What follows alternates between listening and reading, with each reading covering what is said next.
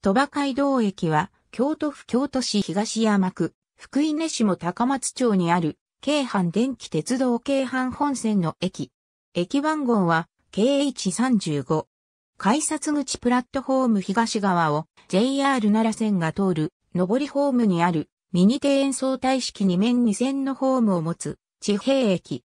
駅舎は出町柳方面行きホーム淀屋橋よりに設けられており、淀屋橋方面行きホームへは地下道で連絡している。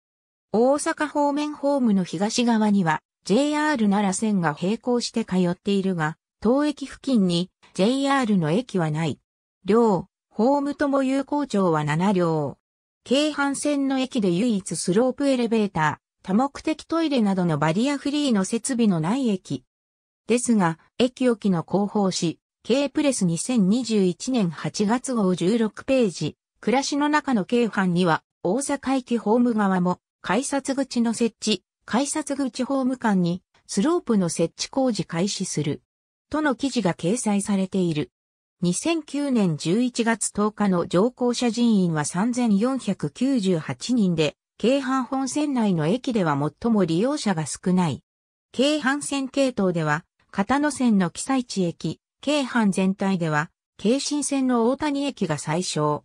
近年の1日あたり、利用客数の推移は、下記の通り。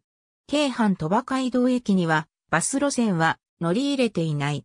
新高速乗り合いバスの降り場。ありがとうございます。